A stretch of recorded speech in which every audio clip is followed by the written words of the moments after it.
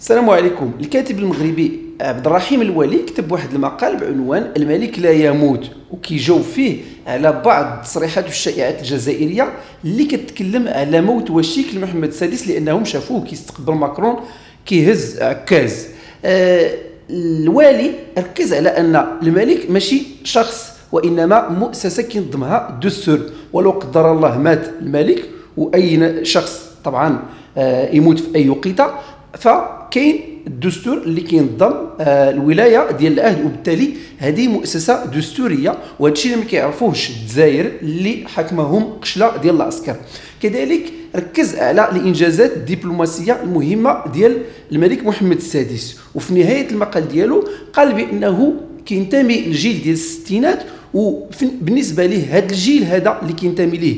الملك راه حقق بعض الأحلام اللي كان المغاربة كيتمنوا أنهم يحققوها. مثلا أن المغرب يصوب السيارة أو لا يصوب طياره أو أنه يقاد السلاح ديالو براسو أو أنه تكون عنده مكانة. وبالتالي اللي غاض الجزائريين من الملك هو النجاحات الكبيرة اللي حققها الملك محمد السادس. على الصعيد الدبلوماسي في الصحراء المغربية وكذلك على الصعيد التنموي لبلادو رغم أن بلادو ما كتمتلكش القوة والثروات اللي عند الجزائر. وبالتالي هذا الشيء اللي ما كتف... اللي ما تفهمش الجزائريين واللي كنشوفوه في التصريحات ديالهم اللي هي ساذجة.